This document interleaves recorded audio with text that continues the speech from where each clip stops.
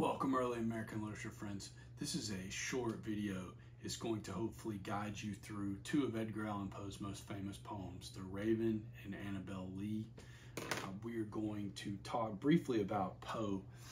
Uh, he was he Poe is important in American literature first and foremost because he is the father of like all horror and gothic for American literature. He is the he brings um, all of what we think of as like horror and suspense and mystery and all of that kind of stuff, he is in many ways the father of it in this country.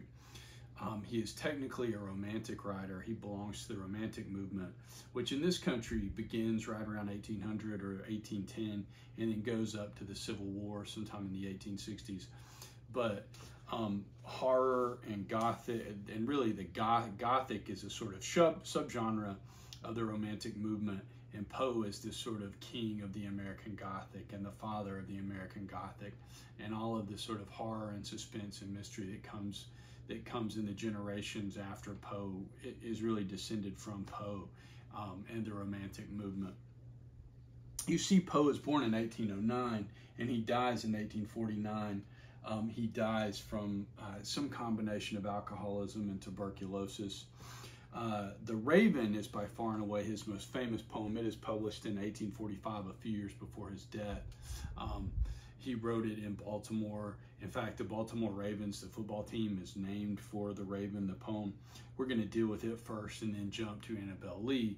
Annabel Lee was published two days after Poe's death in 1849.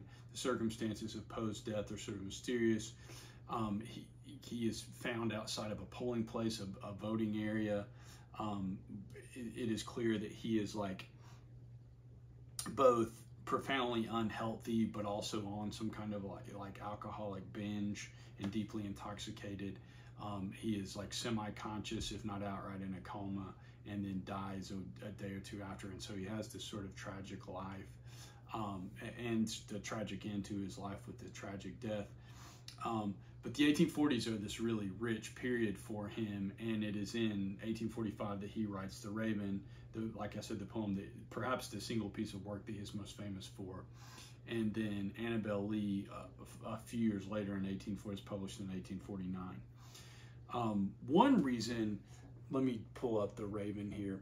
One reason that The Raven is so famous is because he very successfully this is a poem about the presence of absence. He is, the speaker in the poem is missing this person, missing this woman named Lenore who has died, um, and her absence is like a physical presence for him. And so you have this sort of juxtaposition or irony of something is missing, but that missingness becomes physically there, becomes physically present, and then it is embodied in the raven which like comes into his room and then um, sits above the door and at the end of the poem is still there. And so you get it. It's almost like he, the raven is this infestation of sadness or gloominess or loneliness.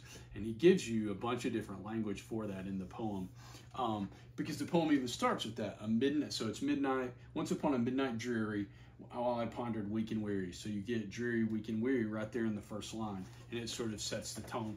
This is one of the things Poe is famous for, what he calls single effect. In almost all of his poems and stories, he is trying to create and achieve some single effect. And you can get from this poem um, the single effect he is going for in this poem is this sort of dreariness and sorrow and sadness.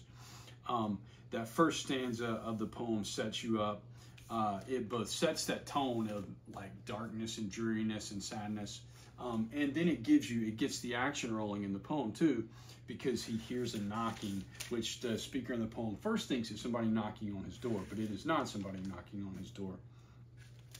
Um, which he quickly discovers. He opens the door.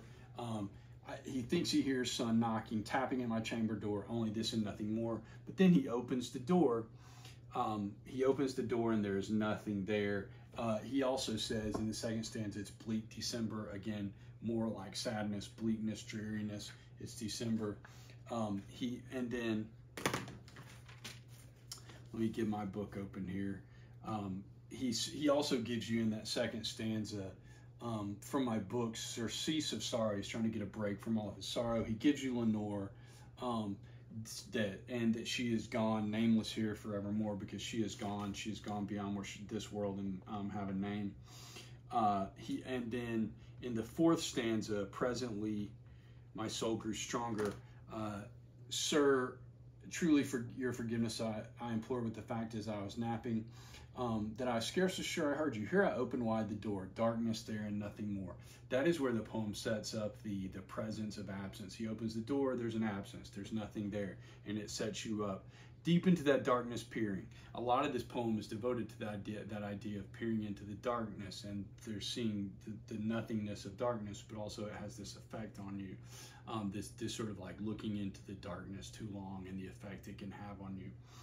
Um, and then the poem shifts because this I whispered, and an echo murmured back the word Lenore. So he speaks her name first in the poem. He's he speaks into the darkness, and then he turns back into the room, and then and he turns back into the room. He hears the tapping again. So by this point, soon again I heard a tapping, somewhat louder than before. Surely, said I, surely that is something in my window lattice. And so he realizes it's not something knocking at the door, something knocking at the window.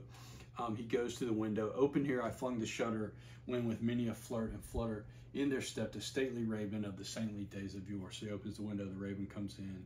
Um, the raven comes in out of the darkness. Obviously, it's midnight, it's dark. So the raven comes in. It's a black bird. It is very clearly this sort of physical embodiment of the darkness. Um, the, the raven comes in. Uh, and, it, and it immediately flies to perched above my chamber door, perched upon a bust of just above my chamber door. And so it like sits as this sort of like um, guardian or observer over the door. And then, then this ebony bird beguiling my sad fancy into smiling. And so he tries to think to make it a joke at first. He's like, "Oh, this, this is something I can laugh at." But by the grave and stern decorum of the countenance it wore. Though thy crest be shorn and shaven, art thou no craven. Um, ghastly, grim, and ancient raven. And so you're getting this, like, again, ghastly, grim, and ancient raven. You're getting all this dark imagery, this sad imagery. And the raven for the first time speaks, but it gives you the only word it's ever going to say. Quote the raven, nevermore. Tell me what that lordly name is on the night's Plutonian shore. quoth the raven, nevermore.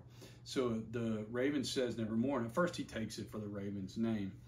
Um, but the raven sitting lonely on the placid, um, where, where are we at there? But the raven sitting lonely on the placid bust spoke only that one word as if his soul in that one word he did outpour. Nothing farther he uttered. Not a feather then he, he fluttered. Um, and and so at first what you get is the speaker trying to figure out why is the raven saying nevermore it just repeats nevermore there are three stanzas right here in the middle um, that give you never quote the raven nevermore with such a name as nevermore quote the raven nevermore that said answer nevermore man croaking croaking nevermore um, but the but what you get down here but the raven still beguiling all my fancy into smiling. Straight I will the cushion seat in front of bird and busting door. And so he sits down and tries to talk to the bird. Is trying to have this interaction. Um, but the bird uh, what this grim, ungainly, ghastly, gaunt, and ominous bird of yore meant in croaking nevermore. There's the language that he's giving you right there. Grim, ungainly, ghastly, gaunt, ominous. It's all this dark language. The bird is a dark omen. He's trying to talk himself out of it. He's trying to like get some meaning out of this bird and trying to find some hopeful meaning.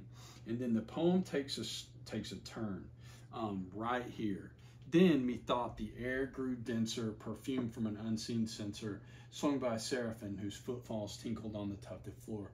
Wretch, I cried, thy God hath lent, lent thee by these angels, he hath sent thee respite, respite and nepenthe from my memories of Lenore. Quaff, oh quaff this kind of this kind nepenthe, and forget this loss in Lenore. Quoth the raven nevermore. There's the first dark turn. He asked the raven if he's ever going to forget Lenore, if he's ever going to get over the sadness. The raven says, No, you're never going to get over it. That's the first dark turn that you get. Um, he lets the raven in. It, up to this point, he's been sort of staring into the darkness, but we haven't been in this total like loss of hope and sadness and sorrow.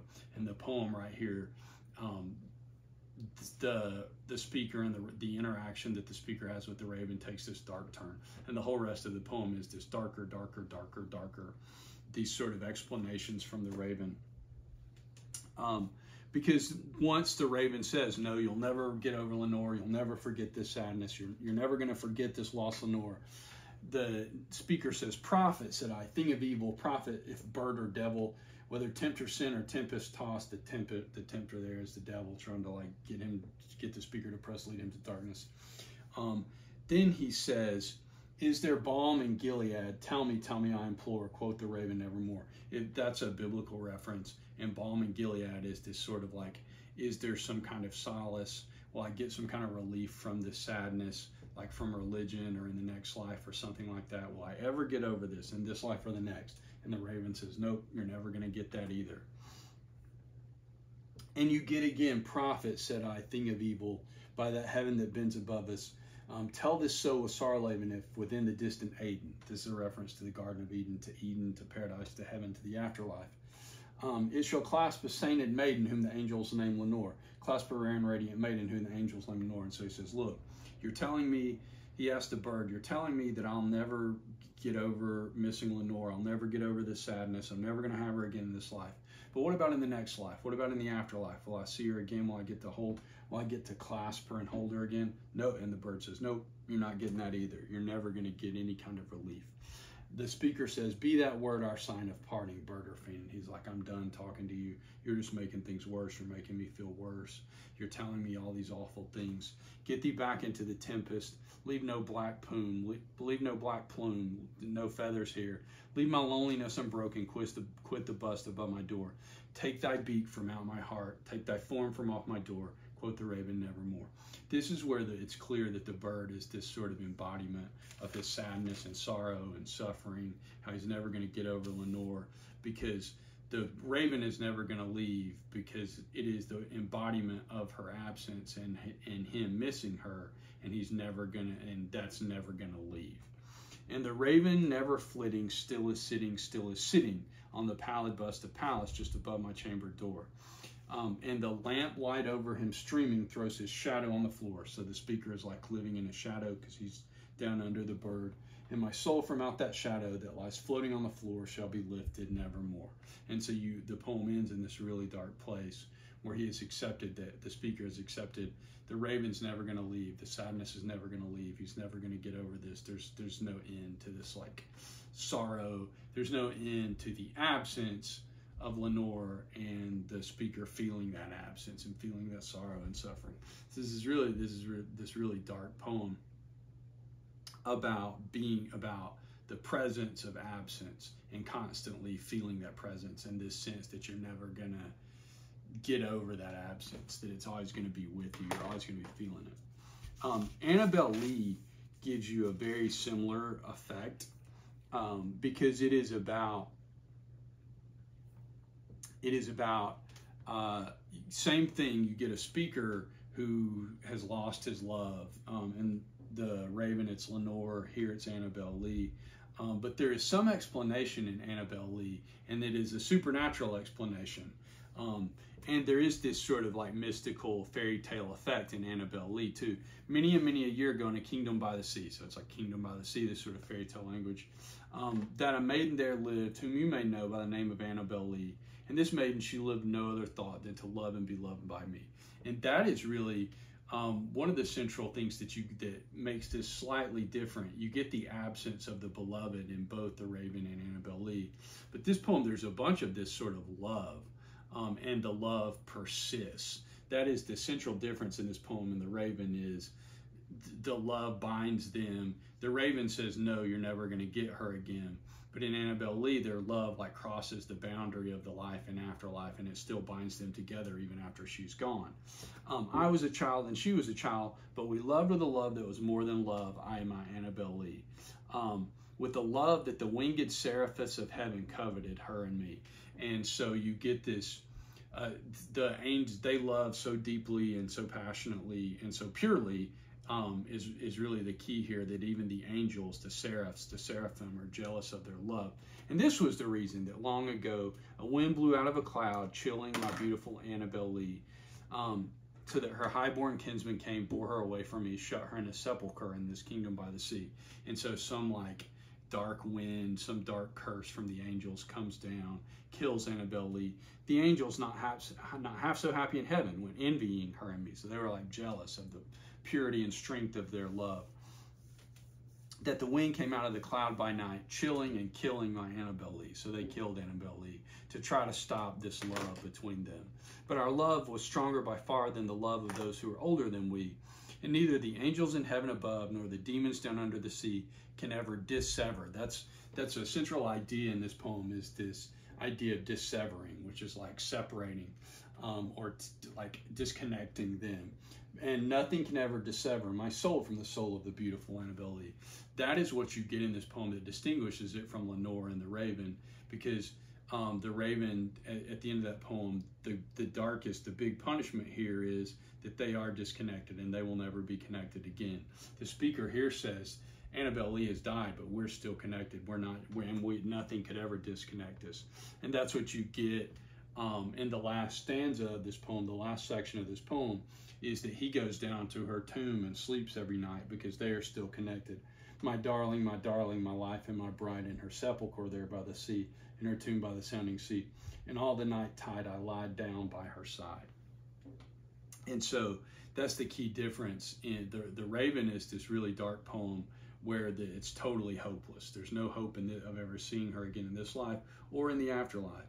Um, but despite the fact that Annabel Lee has died, there is still hope here and there is still connection.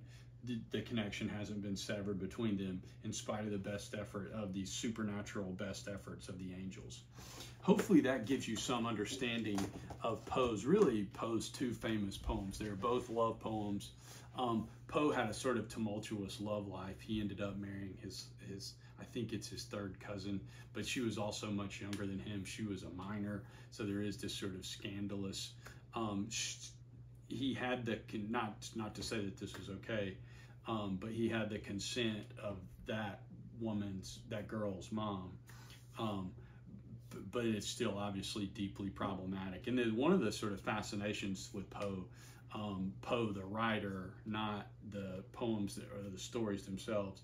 But one of the ongoing fascinations with Poe is this sort of like deeply troubled life that he lived with marrying this much younger cousin and having all these problems with alcohol and, and drugs and all these things.